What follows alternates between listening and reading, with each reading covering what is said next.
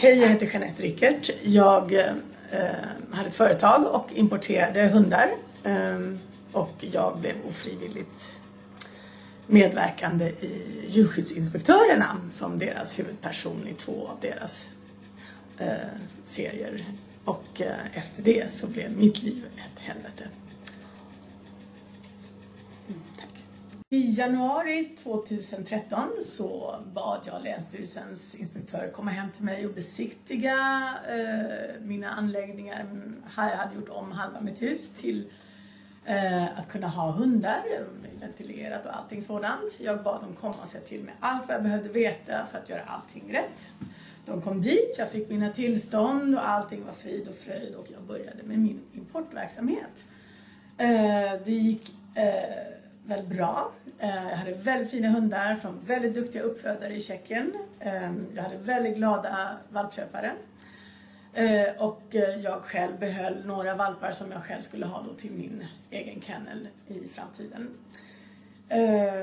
Ja, allting gick så lagligt till så att inte ens en svensk hunduppfödare eh, kan ha det så lagligt. De gick igenom eh, kontroller, kontrollerade uppfödare i Tjeckien som var kontrollerade av deras veterinärsystem och allting. Ja, eh, de skrevs in i Trace, det är sådana här spårningssystem. Så att när jag lämnade Tjeckien med valparna så skrevs de in varenda hund i ett system, ett EU-system som heter Trace som gick direkt in till Länsstyrelsen så att de visste exakt vilka hundar jag tog med mig hem, vilken tid jag beräknades vara hemma, vilken väg jag körde etc. etc. När jag kom hem så hade jag en veterinär där jag alltid gick och besiktigade dem. Och sen så hade jag oftast eh, valpköpare som kom då och hämtade sina valpar. Eh, och det var ett väldigt, väldigt roligt och trevligt och givande arbete. Jag kunde alltså arbeta med det jag tyckte mest om. Eh, så allting var frid och fröjd. Ehm, sen i mars, var det i mars? Ja. Nej det var det inte, det var i maj. Tre, eller tre månader, några månader senare efter att jag hade fått alla mina tillstånd så kom jag hem med nya valpar. Det hade varit lite förseningar i ehm, Tjeckien på grund av eh, olika saker. Min GPS hade lurat in mig i en skogsdunge till exempel. Det är sånt som kan hända. Ja, jag kom hem sent på kvällen. Nästa morgon hade jag tid hos veterinären med de nyanlända. Allt eh, hade gått som vanligt. Eh, Trace hade skickats in till Länsstyrelsen så de visste mycket väl att jag hade kommit hem. Ja, och sen på morgonen var jag väldigt trött så jag bad då min assistent att eh, komma och eh, hjälpa mig att bära de här eh, hundburarna med hundarna i, som jag alltså hade i bilen då. Eh, när de skulle köra så satt de i hundburar som man måste ha. Och eh, han skulle hjälpa mig till veterinären. I annat fall så skulle han varit hemma och städa till de valpar jag hade hemma och sätta ut dem i trädgården, vilket var våra vanliga rutiner. Den här morgonen så blev rutinerna annorlunda på grund av att jag var lite trött efter resan jag åkte till veterinären och besiktigade valparna. Eh, då ringde Länsstyrelsen till mig och sa att de stod utanför mitt hus och skulle ha en kontroll. Jaha, då tänkte jag då får jag komma dit. Så jag lämnade mina valpar hos en vän i ett stall. En fin ren box som jag kunde få använda mig av. Eh, det var maj, 23 maj, vackert väder, soligt och skönt. Och jag skulle tillbaka till veterinären senare. Så därför tänkte jag jag lämnar dem här. Så länge så kommer jag tillbaks när jag har visat mina hundar och att de kan kolla att chip och allting stämmer. Så jag kom hem.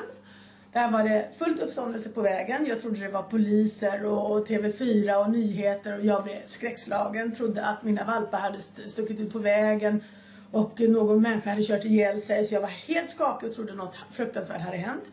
Då visar det sig att det är Malin och Martin, Mattias Gårdlund då, djurskyddsinspektörerna. Jag har själv sett dem på TV sen efteråt. När det visade sig att jag blev då eh, huvudperson i ett TV-drama som jag inte hade en aning om då. Eh, TV kommer fram till mig och säger att de bara följer Länsstyrelsen i deras arbete under en veckas tid. Jag trodde att det var en utbildningsprogram och tänkte okej, okay, jag visste att jag har ingenting att dölja. Jag har alla mina tillstånd och jag gör ett gott arbete som jag är väldigt stolt över. De fick komma in allihopa. TV följde med Länsstyrelsen, det var inte mitt problem. Länsstyrelsen skulle jag ju visa att alla valpar var de som jag hade ansökt om och så vidare. De kom in, självklart så var det inte roligt för då hade valparna varit inne i sina rum eh, från kvällen innan eftersom vi inte hade tagit ut dem på morgonen. Självklart hade de fått mat och vatten och allting sådant men vi hade då inte haft tid att ta ut dem i sin trädgård och städa utan den här gången fick de faktiskt vänta. Det var början på mitt helvete. Eh, jag bad sedan att de skulle komma och titta på valparna som var i stallet och som hade varit där ett par timmar för att de skulle kunna kolla att det var rätt chipnummer på valparna, att det var de som hade kommit, eh, som jag hade ansökt om på Jordbruksverket etc. Allting stämde och så vidare.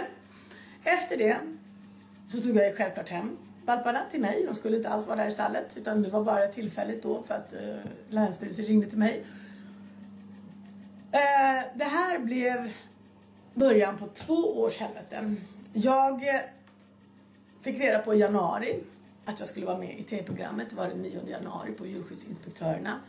Jag satte mig ner framför tvn och såg hur lastbilar filmades från eh, färjor och uppe i rad och så stod det Länsstyrelsen misstänker olovlig införsel av valpar. Och jag tänkte oj, har de fått tag på riktiga smugglare? Det var jättespännande. Nästa sekvens ser jag att hon står utanför mitt hus. Det är alltså mig det handlar om. Ja, och eh, efter det tv-programmet då tror man att jag kommer in med cirka 100 valpar åt gången i stora lastbilar. Eh, olagligt antagligen.